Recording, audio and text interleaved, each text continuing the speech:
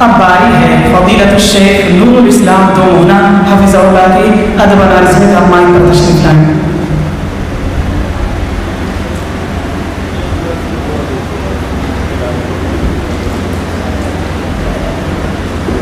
السلام علیکم ورحمۃ اللہ وبرکاتہ نحمد صلی اللہ رسول کریم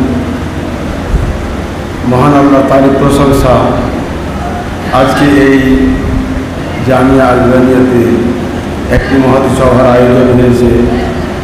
এই জামিয়া আলবানি আমি সর্বাঙ্গীন কল্যাণ কামনা করি।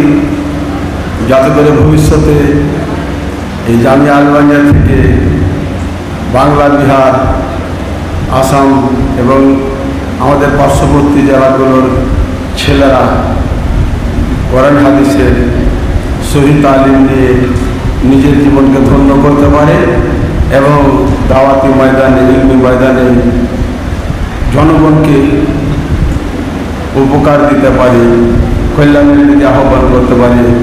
এই বলে আমি সকলকে, সকলের ভবিষ্যৎ কল্যাণ কামনা করছি। আসসালাম আলাইকুম।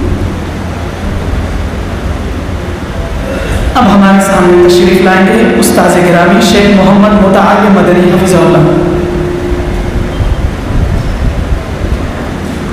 فضيلة الشيخ محمد متعلم مدني في الله سأل على ذلك مع بعد الشيخ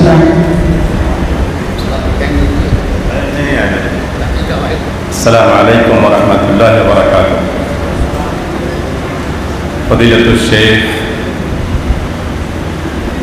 عبد اللطيف عبد الصمد الكاتب حفظه الله ورعاه وبارك في حياته.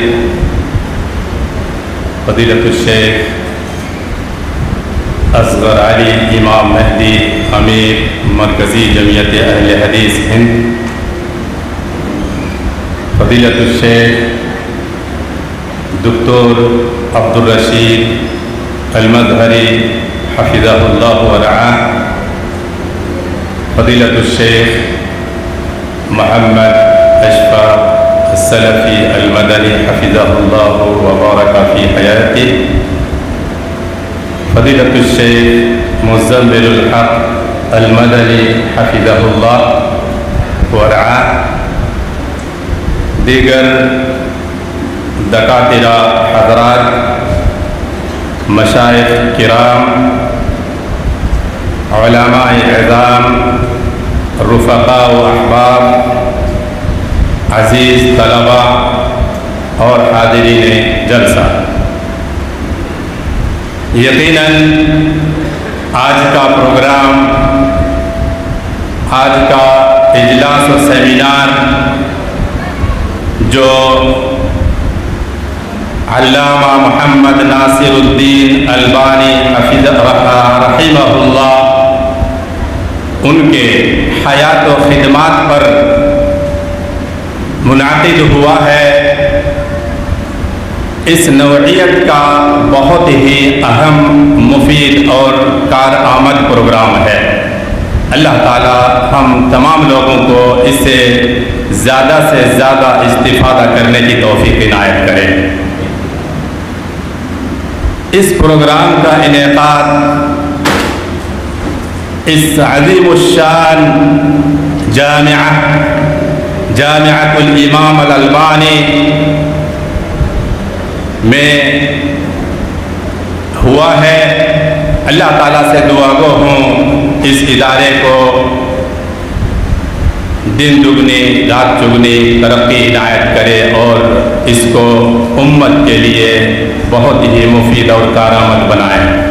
اور پھر بالآخر اس پروگرام کا منظم، ناظم اور محتمم جو میرے برادر محترم،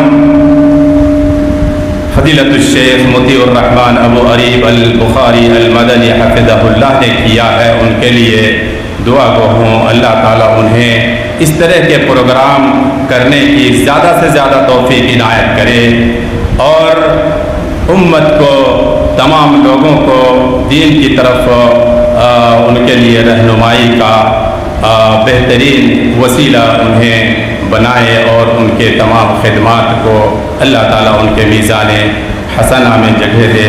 جزاہ اللہ خیرہ و بارک اللہ فیہ و احسن اللہ علیہ و فقہ لکل ما یطبہ و یضاہ و تقبل جہودہ تجاہ الامہ الاسلامیہ و دعہ فی میزان حسناتہ و ینفعہ بیہا یوم لا ینفع مال ولا بنون۔ السلام علیکم و رحمت اللہ و برکاتہ۔